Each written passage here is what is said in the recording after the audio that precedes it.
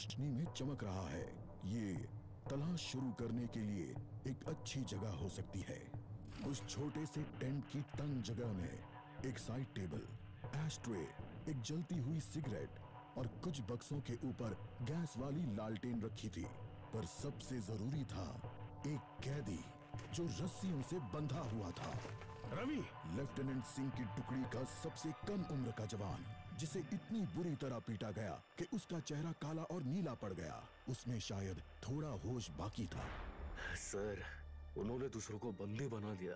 रवि ने कहा रिपोर्ट बाद में फौजी। पहले तुम्हें छुड़ाना होगा। नहीं सर। दूसरों को आपकी मुझसे ज़्यादा ज़रूरत है। मैं किसी को पीछे नहीं छोड़ता फौजी। लेफ्टिनेंट सिंह रवि के पैरों से रस्सी खोलने लगते हैं। देर हो गई सर। पीछे देखिए। दुश्मन सिपाही टेंट में आता है और लेफ्टिनेंट सिंह को पीछे से पकड़ लेता है। टेंट में उनके बीच संघर्ष होता है और बक्से गिर जाते हैं।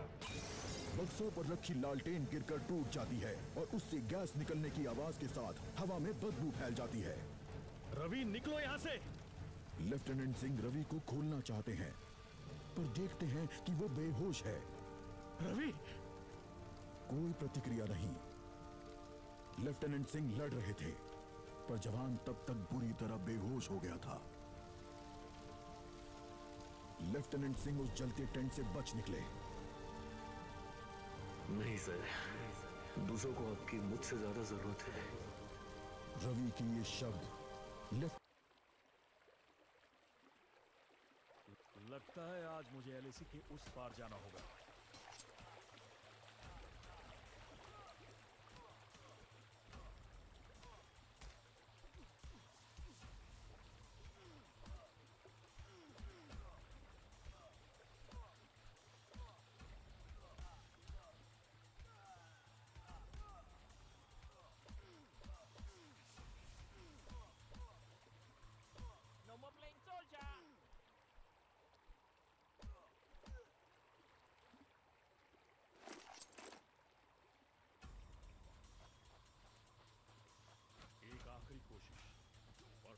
सब घर जा सकते हैं।